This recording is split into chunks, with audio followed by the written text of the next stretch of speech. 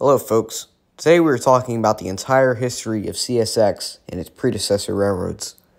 There will be two parts the Chessie branches and the Seaboard branches.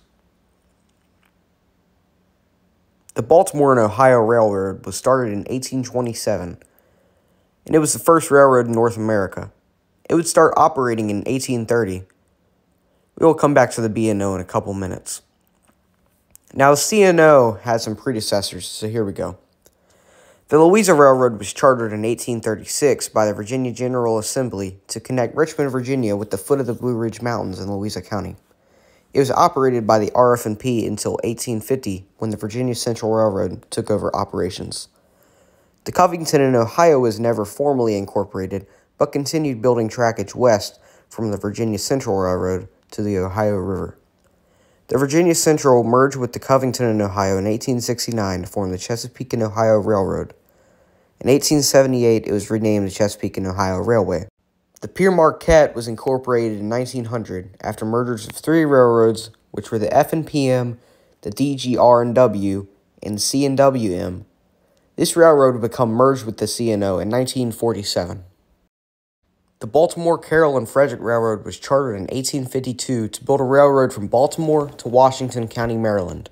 The railroad was renamed to the Western Maryland Railroad in 1853 and would operate independently for many years until 1964 when the B&O and C&O took control of the railroad. The C&O took control of the B&O in 1973 and formed the Chessie system where the Western Maryland, the B&O, and the C&O were still running independent operations but used shared rolling stock and kept their reporting marks.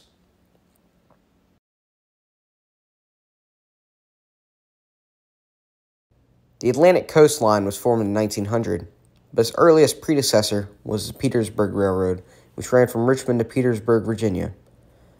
The Atlantic Coast Line ran from Richmond, Virginia to Tampa, Florida. The Seaboard Airline was formed in 1900 after mergers of many railroads that date back to the 1830s, including the Portsmouth and Roanoke, the Wilmington and Raleigh, the Raleigh and Gaston, and others. The railroad ran from Richmond, Virginia to Jacksonville, Florida.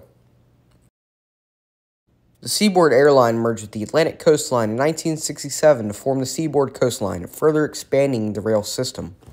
The SCL would take control of the Louisville and Nashville, established in 1850, and the Clinchfield Railroad established in 1902. The L&N and the Clinchfield would merge with the SCL to form the Seaboard System, better known as the Family Line System. In 1980, CSX Corporation was created as a holding company for the Chessie and Seaboard systems, though it would be named CSC if it wasn't for a trucking company in Virginia with the same name. CSX still, however, stands for Chessie Seaboard Consolidated. The Seaboard system was renamed CSX Transportation in 1986, where the first CSX locomotives would be painted. Now, up to this point, the C&O has fully absorbed the Western Maryland, but the B&O was still technically independent. So on April 30th, 1987, the C&O merged the B&O right into the C&O, which was still called Chessie System, but was still corporately the C&O. It's kind of weird. The C&O slash Chessie system, whatever you want to call it, merged with CSX on August 31st, 1987. You probably thought this was the end, didn't you? Nope. CSX has taken control of various railroads since 1987. The Richmond, Fredericksburg, and Potomac Railroad was established in 1836 and it was built as a bridge line transferring freight and passengers from Richmond to Washington, D.C. The railroad had done really well and had been able to survive until 1991 when CSX came knocking and they said, "Hey, we want your railroad," and the RF&P was merged into the CSX, where today is just one subdivision of CSX. The Consolidated Rail Corporation, or Conrail, was created in 1976 after the failure of the Penn Central Transportation Company and other northeastern railroads to save the rail industry. The railroad did what it was supposed to and was supposed to be taken over at some point if the rail industry was able to sustain itself. Well, Norfolk Southern and CSX started fighting over the assets, and in 1999 they came to an agreement. CSX would get 42% of Conrail's assets, and, C- and Norfolk Southern would get 58%. In 2020, CSX acquired Pan Am Railways, formed in 1981.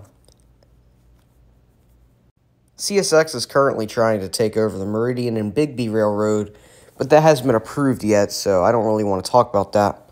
So that's it for the history of CSX up to 2024. Hope you enjoyed the video. Thanks for watching.